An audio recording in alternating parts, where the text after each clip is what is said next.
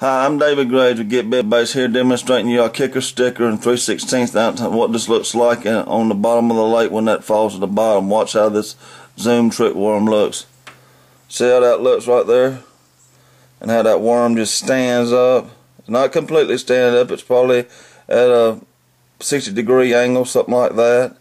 And watch what you, what happens when you put a little bit of action to this worm. Just a little bit, you know, just a little bit of tapping just kind of let it fall and just kind of just kind of slowly just keep